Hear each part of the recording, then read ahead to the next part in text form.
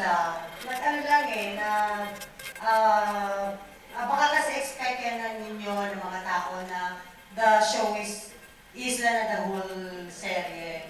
Eh, which is hindi naman. So it's it's just the parais, yung paraiso na nakita nila dun sa isla, yung love, yung sinisignify na lang nung, nung serye, not the isla itself, kasi baka maging masyadong ah, literal na yung pag-take nung soap. Uh, we want to tell din po na um, bawat isa sa atin may kanya-kanyang paradiso. No? Hindi po siya literal na island lang. But the paradise, of course, is our relationship with other people.